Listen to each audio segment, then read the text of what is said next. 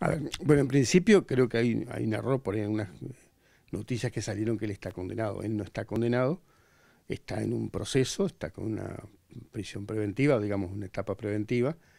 Las pautas que se tomaron de la prisión domiciliaria más es lo que está previsto en el código. El código en su artículo 349 prevé esta modalidad de preventiva o de medida de coacción. ¿Qué código de la provincia? El código procesal penal de la provincia.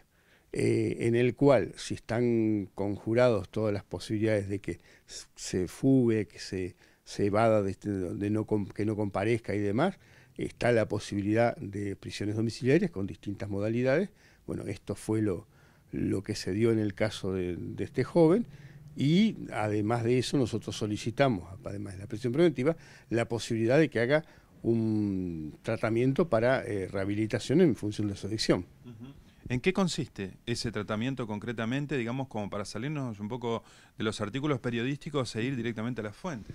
Bueno, él tiene que concurrir a una iglesia de acá todos los días en determinado horario y también el tema de la posibilidad de una práctica deportiva como para coadyuvar al tratamiento ese, ¿no es cierto? ¿Ya empezó a hacer la práctica deportiva? La práctica deportiva no, el tratamiento sí.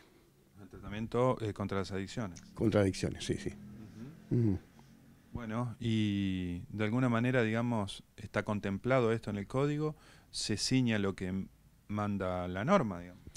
Claro, digo, a ver, eh, no podés pedir nada por afuera de, lo que es la norma de procedimiento en este caso puntual. Digo, ¿qué se pretende con, estas, estas, medidas? Es que él comparezca que está derecho.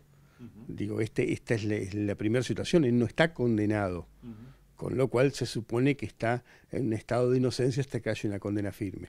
Todas estas medidas tienen como objetivo que él comparezca y esté a derecho, ¿no es cierto? Hay distintas modalidades, una de esas es la posibilidad de una prisión domiciliaria.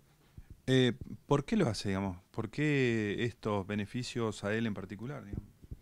No es que, es que no son beneficios a él en particular, es lo que está previsto en la norma, vos tenés un arresto domiciliario, cualquier posibilidad de que hagas un tratamiento y demás, lo tenés que solicitar el juez te autorizó no en función de, los antecedentes que tiene, ¿no es cierto? O sea, lo sé, pero, un tratamiento... Em, no es un tratamiento distinto a lo que puede ser de otro. Digo, a nivel nacional, eh, vos tenés casos que, bueno, es con otro código, es el código nacional, pero el caso de Budu estaba en una prisión preventiva después de una serie de de recursos que se hizo, se planteó que Vudú no había posibilidad de que se vade de más y hoy concurre a juicio libre, ¿no es cierto? El caso del intendente de, Paraná, que está metido en una causa de narcotráfico de mucho mayor gravedad, hoy está libre y tiene que concurrir una vez por semana al juzgado, ¿no es cierto? Digo, esas son las, posibilidades que tiene el juez de evaluar si esa persona no comparece estar a derecho o está a derecho es parte de, las herramientas que tiene el juez dentro de este proceso previo que, tiene que ver con, la posibilidad o no de llegar a una condena. Correcto. Yo le preguntaba, eh, digo, este joven está meritando, tiene una situación adictiva complicada, digamos. Eh, sí, tiene, una situación de adicción que viene de larga data, él ya estuvo institucionalizado y demás.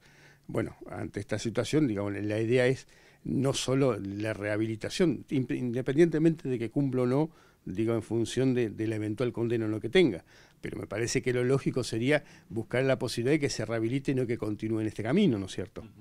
O sea, que su función como abogado, digo, va un poquito más allá en términos sociales positivos para ese joven. No solo le importa de alguna manera aliviarle un poco las condiciones de una preventiva, sino, eh, bueno, mejorar un poco su, su viabilidad en términos de futuro. Lo que pasa es que si no entras en, un, en un, camino eh, o en un círculo vicioso, digo, si vos a esta altura, con 18 años, no buscas la forma eh, que se rehabilite en, cierta forma y que tenga una posibilidad de una vida útil, digo, lo que continúa de acá a él va a ser una carrera delictiva. si, en este momento uno no intenta eh, procurar la posibilidad de reinserción social y rehabilitación, me parece que eh, implica un, cierto fracaso del sistema punitivo que tenemos, ¿no es cierto? No es solo eh, sancionar, sino también la posibilidad de la reinserción social. Creo que se tiene que, buscar eso, si no estamos en, una cuestión sin salida en nuestra sociedad, ¿no es cierto?